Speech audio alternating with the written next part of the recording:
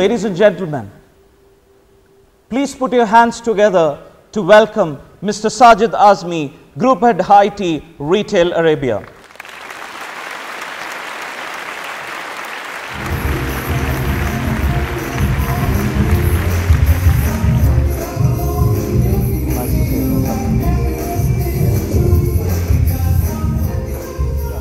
Yeah.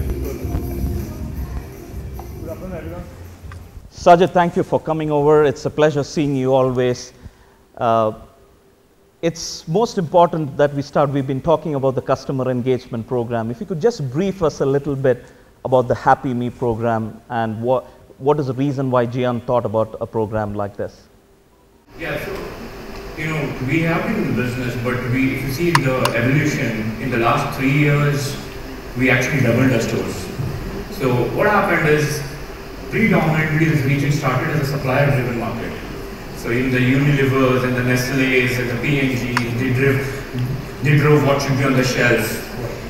And the retailers also went that way. We decided, we, we realized that with 35 million transactions, there are a lot of consumers. Are we really knowing our customers? We were not, we wanted, we had discussions with consumers, we had panels and they said, you know, we want, we want to be engaged with you. And that started the engagement journey almost exactly 30 months back. And then came, you know, the traditional card-based or the mobility-based, and the digital penetration in the market is just in this region is amazing, right? And uh, I'll give you a classic. We have we have launched a mobi- mobility app, but we have also facility for non-digital customers who do not have smartphones. Today, I have only 0.03% customers from that. We have options, but people are digital. What we started, the thought process was to thank you the customer, to serve the customer, to know our customer. We don't want to, we didn't want to go to the market and acquire new customers. We have customers, but are we listening enough? Still the journey is early, it's fifth month since we have launched it, but the response, the feedback has been amazing. Fantastic. Sajid, with Oracle and Gold being the backend systems within your current landscape, why did you choose Microsoft Dynamics CRM as a platform and what business advantages did you anticipate while choosing this solution? All right, so you know we use uh, a system called Gold, which is I, which is used by few retailers in this region, uh, which is our ERP. What I realized is, you know, when we were dealing with Gold, Oracle, okay, as a database, but when I went to the, uh, you know, we went through RFPs and meeting partners, it was very clear. We wanted a simple solution, right? Okay, but yet powerful solution, right? And a simple solution, like everybody used to Microsoft. At the end of this, this has to be used by the marketing team, my sales force, my people on the floor, my store managers, my operation managers. The training curve is very simple with Microsoft. The people, the other thing is, you know, I'm a technology, I run the technology, so I have to look at the total cost of ownership. When I met vendors, they have, uh, they have a very closed system. When you have a closed ecosystem, then you, it's very difficult to keep the maintenance, though it is, you know, from a long, longevity point of view. There is Microsoft is a very is a very open system. I have a lot of people available in the market, more if I'm doing else. So these factors, you know, from the ease of use, uh, and also one of the another thing was you did a great job when you guys came with your sales pitch. So, and when we chose you, I think we did a good job because eventually we were able to stick to our timelines. You know, so being you convinced us, and I think we did we did an absolutely right thing by selecting it. And now, you know, after looking at customer insights, because I'm in the fifth month of the journey, and I have plethora of data, right? And I still will be acquiring more. So I think insights will be the next way to go forward. Fantastic. And what has been the most transformative insight that you have got ever since you have executed the CRM strategy? Uh, you know, you cannot say that there's one transformative, but it's just, you know, it's, it's, you know, uh, Tesco had launched, so there's, uh, there, there's a book around Tesco called Scoring Points for the loyalty.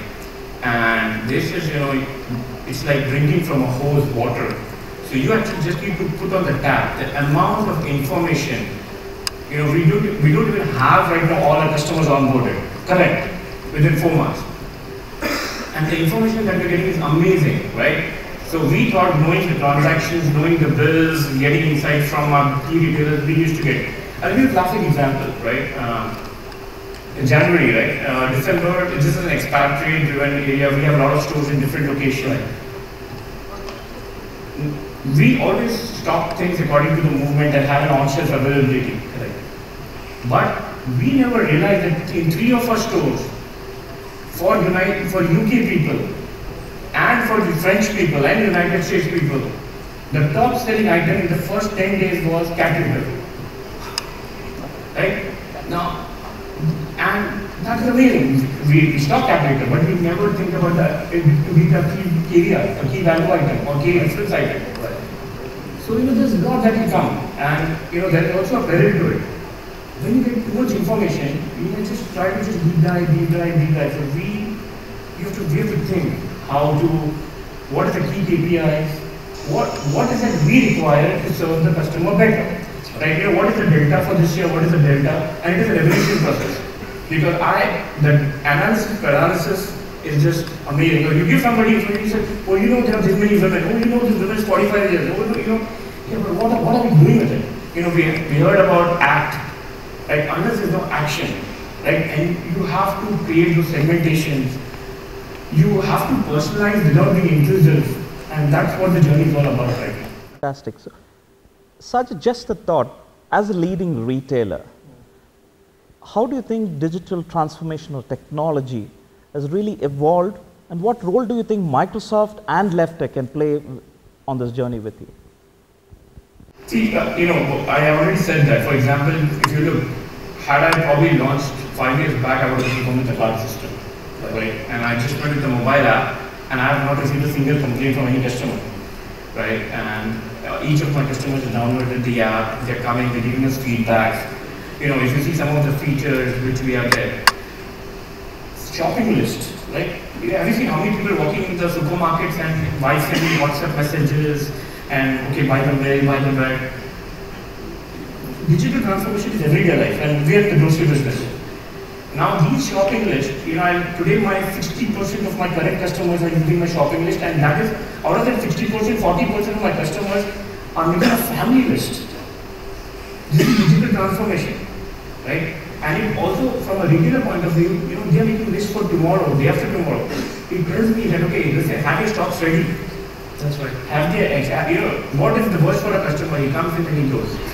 Now what happens is, the, the second part of the question is how Microsoft and Levtech comes into picture. See, we, till now, uh, you it's relationship. Our relationship has been very productive both for you and for us. Uh, what, what happens is, I'm getting a lot of information, right? And we are looking data. And with this kind of, you know, having Azure and having customer insight, if we are very clear as business how what we want to see and machine learning coming into picture, these are the, some of the things we will be able to serve the customer better. We don't want to wow the customer with technology. We want to serve the customer better. We want to thank the customer better. If we are unable to do that, then we are not doing a job. So I think that's what the goal should be. Perfect. Thank you, Sajid.